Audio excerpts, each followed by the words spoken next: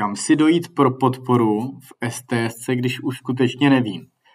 Um, jedna z možností je napsat nebo zavolat přímo nám. Uh, druhá z možností je kontaktovat Vodafone nebo to najít v jeho samoobsluze. Když se přihlásím do Scoutisu a kliknu na služby a STS, tak najdu adresu tam.je lomeno za mě změna a tam mě přesměruje do můj Vodafone.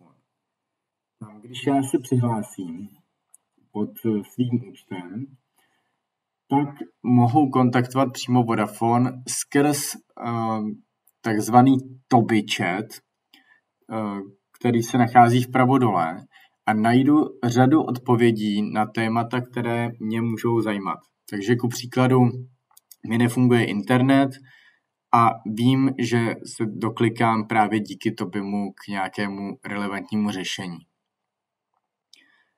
Hm, není to reálná osoba, takže tam jsou nějaké definované odpovědi, ale právě mě je schopen provést nápovědou. Druhá z takových možností je, když kliknu na zvoneček v menu, eh, tak tam mám dotazy přímo na někoho z Vodafonu.